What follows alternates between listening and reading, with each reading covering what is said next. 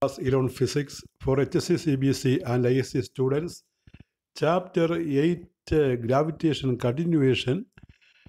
And this is class number 63, P63, Newton's Law of Gravitation. Newton's Law of Gravitation.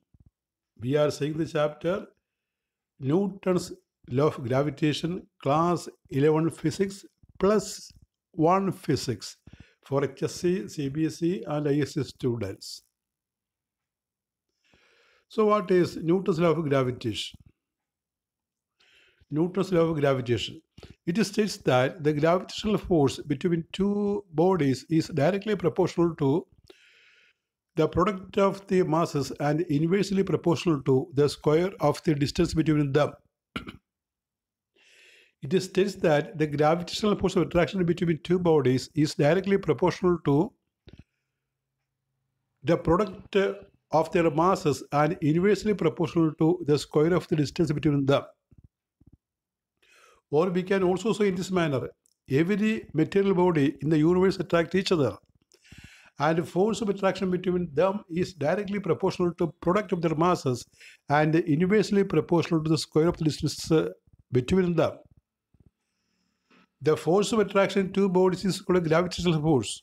So we state like this this law states that the gravitational force between two bodies is directly proportional to the product of their masses, product of their masses, and inversely proportional to the square of the distance between them.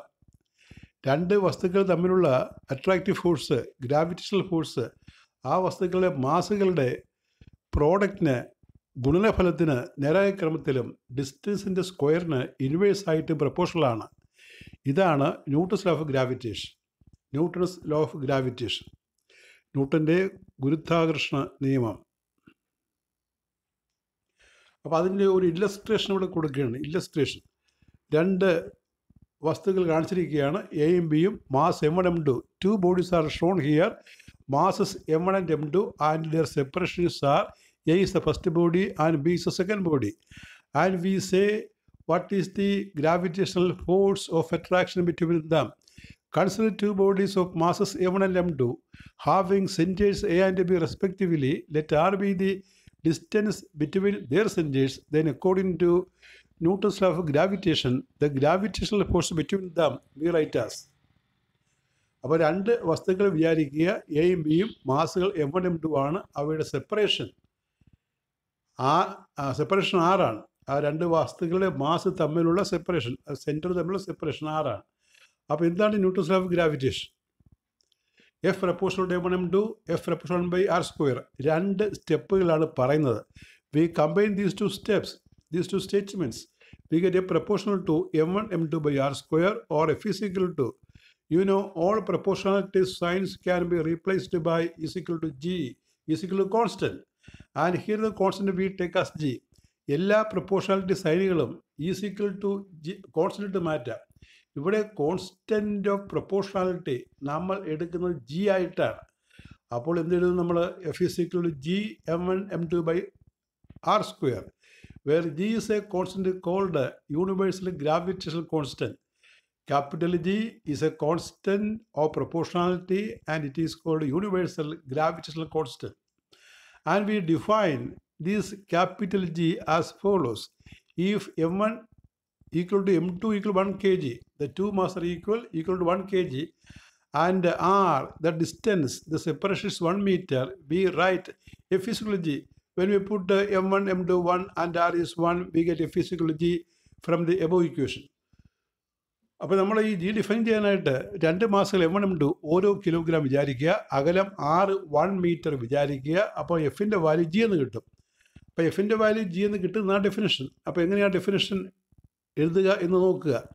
The universal gravitational constant G the universal gravitational constant is numerically equal to the gravitational force between the bodies of unit mass each separate by this unit distance unit mass എന്ന് പറഞ്ഞാൽ one kilogram unit distance എന്ന് പറഞ്ഞാൽ one metre So we say universal gravitational constant is numerically equal to the gravitational force between two between the bodies of unit mass each separated by unit distance. The value of G is same at every place എല്ലാ പ്ലേസിലും ഈ capital ജിയുടെ value മാറ്റമില്ല. In the whole universe this can be determined by the Cavendish method അപ്പോൾ ഇതിന്റെ പരീക്ഷണമുണ്ട്. ആ പരീക്ഷണം നിങ്ങൾക്ക് പഠിക്കാനുള്ള Cavendish method there is an experiment called Cavendish experiment and using this Cavendish experiment we can determine G and that is not required its value comes out to be the value of g comes out to be 6.67 into 10 raised to minus 11 in SI system and 6.67 into 10 raised to minus 8 in CG system. S I സിസ്റ്റത്തിൽ system ഇന്റർനാഷണലിൽ ഈ ജിയുടെ വില ആറ് point ആറ് ഏഴ് into പത്ത് wrist minus പതിനൊന്നാണ് എന്നാൽ സി ജി എസിൽ ആറ് പോയിന്റ് ആറ് ഏഴ് into ten raise to minus eight എന്നാണ്. സെപ്പറേറ്റ് യൂണിറ്റ് നമുക്ക് പഠിക്കാനുണ്ട്. യൂണിറ്റ് ഉടനെ പറയുകയാണ്. The S I unit of G gravitational constant S I unit of G is newton metre square K G raise to minus two newton metre square K G raise to minus two and C G S unit is C G S unit is dyne centimetre square gram raise to minus two the dimensional formula of G is m raised to minus 1 l cubed t raised to minus 2. The dimension of g is m raised to minus 1 l cubed t raised to minus 2. g is a constant having dimension. Next uh, heading relation between capital G and small g. We have seen capital G is the universal gravitational constant and small g that we know acceleration due to gravity. What is the relation between capital G and small g? the gravitational force of attraction between a body of mass small m and the earth of mass capital M. Earth we consider as a body of mass capital M can be written as F is equal to G capital M small m by R square. G M1 M2 by R square we write as G capital small m by R square. The gravitational force of attraction between body on the surface of Earth and the Earth can be written as F is equal to G capital M small m by R square. Capital M is the mass of Earth. Small m is the mass of body. And R we can take as radius of Earth. So the force is G capital M small m by R square. And this force balances with the weight mg of the body. So we write mg is equal to G capital M small m by R square. ഒരു വസ്തുവും ഭൂമിയും തമ്മിൽ attraction G capital small by R square ആണ്. അതിനെയാണ് നമ്മൾ wait എന്ന് പറയുന്നത് M G എന്ന് പറയുന്നത്. സ്മോൾ എം സ്മോൾ ജി അപ്പോൾ ഈ small M small G M ജിയെ capital G M M by R സ്ക്വയറോട് equate ചെയ്യുക അങ്ങനെ ഇക്വേറ്റ് ചെയ്യുമ്പോൾ സ്മോൾ ജിയുടെ വാല്യൂ കിട്ടുന്നതാണ് G M by R square so small G is G M by R square അല്ലെങ്കിൽ here you look G, capital M, capital R, all are constants. So G is constant. On calculation, we get a 9.8 in CG system. And from this also, we can write uh, mass of Earth, gr square by g. Using this experiment, Cavendish weighed the Earth. അപ്പോൾ ഈ value വെച്ചിട്ടാണ് Cavendish അദ്ദേഹത്തിന്റെ പരീക്ഷണം ഉപയോഗിച്ച് ഭൂമിയുടെ ഭാരം കണ്ടുപിടിച്ചത് ഭൂമിയുടെ ഭാരം നമുക്കറിയാമല്ലോ mass six into ten raise to twenty four kilogram എബൌട്ടാണ് അത് കണ്ടുപിടിച്ചത് ഇങ്ങനെയാണ്. ഈ ഇക്വേഷൻ വെച്ചിട്ടാണ്. Capital M is G R square by G എന്നുള്ള ഇക്വേഷൻ വെച്ച്.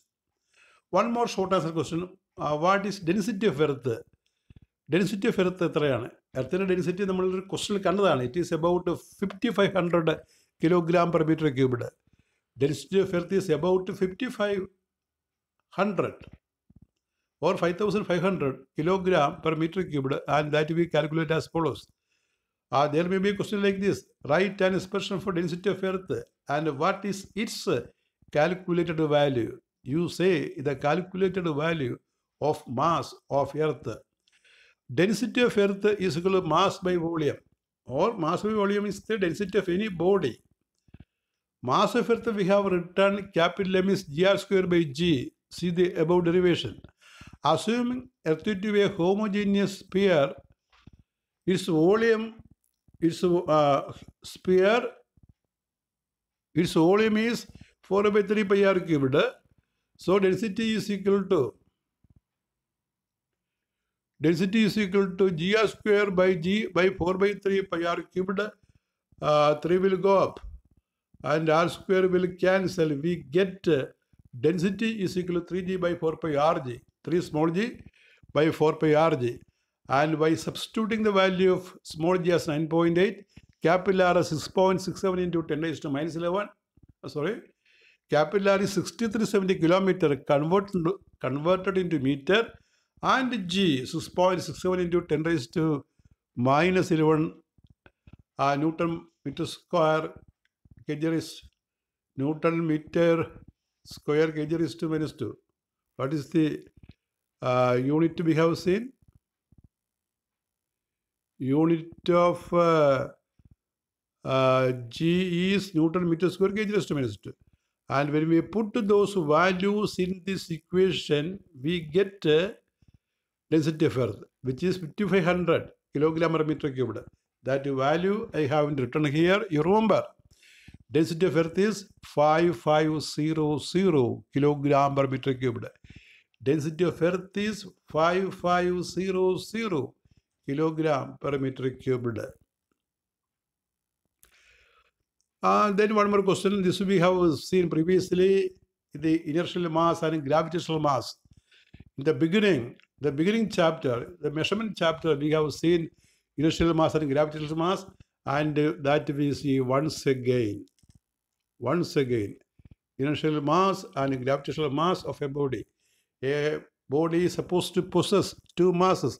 One is called inertial mass, and other is the gravitational mass. What are they? We can say these two are equal, and that we prove. The mass of a body which uh, measures the inertia is called inertial mass.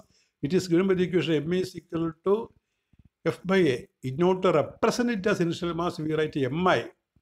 Inertial mass is measured by the ratio of the force F and acceleration A produced inertial mass is conserved and is not affected by the presence of other bodies near it. Inertial mass varies with velocity. Velocity which inertial mass മാറും gravitational mass. The mass of a body which uh, determines the gravitational force of attraction due to Earth is called gravitational mass.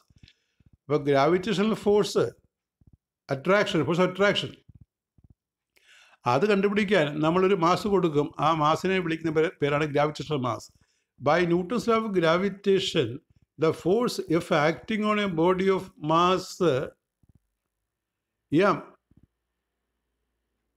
is G capital M M G by R square r M G by R square M G is a symbol we use to represent gravitational mass. Capital M suffix small g. And the two masses we can equate. From this we get gravitational mass fr square by gm. m is mass of earth, g is universal gravitational constant, r radius of earth. It can be shown that initial mass is equal to gravitational mass. രണ്ട് മാസം തുല്യമാണെന്ന് നമുക്ക് തെളിയിക്കാം അത് തെളിയിക്കുന്നത് എങ്ങനെയാണ് രണ്ട് മാസം ഇക്വേറ്റ് ചെയ്യും അല്ലെങ്കിൽ രണ്ട് ഫോഴ്സ് ഇക്വേറ്റ് ചെയ്യും weight is equal gravitational force M I G is equal G capital M M G by R square അപ്പോൾ ഇവിടെ ആ G M by R square small G ആണ്. റൈറ്റ് സൈഡിൽ G M by R square small G ആണ്. അപ്പോൾ small G ഇട്ട് കഴിഞ്ഞാൽ small ജിയും സ്മോൾ ജിയും വെട്ടിപ്പോയിട്ട് M I is M G എന്ന് കിട്ടും. അല്ലെങ്കിൽ M I by M G കണ്ടാൽ if you find M M I M G we get G M by R square into G താഴെ. അപ്പോൾ സ്മോൾ ജി എന്ന് പറഞ്ഞാൽ G M by R square രണ്ടും cancel ചെയ്ത് പോകും അപ്പോൾ വൺ കിട്ടും സോ എം ഐ ഈസുകൾ എം ജി എം ഐ ഈസുകൾ എം ജി എന്ന് കിട്ടും The initial mass of a body is proportional to its gravitational mass and is they are equal since small g is equal to gm by r square or capital Gm by small g r square is 1 then the initial mass and gravitational mass are equal. Since the two mass are equal, two mass are equal, the mass appearing in the force equation F is ma and the mass appearing in the definition W is equal to mg are the same. അപ്പോൾ F is equal M A അതിനകത്ത് വരുന്ന ഇക്വേഷനും നമ്മൾ force weight കാണുന്ന M G ആയിട്ട് ഉപയോഗിക്കുന്ന ഇക്വേഷനകത്തും mass രണ്ടും സെയിമാണ് ആണ്. ഇനിഷ്യൽ മാസും ഗ്രാവിറ്റേഷണൽ മാസും ഒന്നാണ്. എം ജി എന്ന് പറഞ്ഞാൽ G M M by R square അതിലെ മാസും എഫ് ഇസുകൾ എം എന്ന് പറഞ്ഞാൽ അത് ഈ ഇതിലെ മാസം രണ്ടും തുല്യമാണ്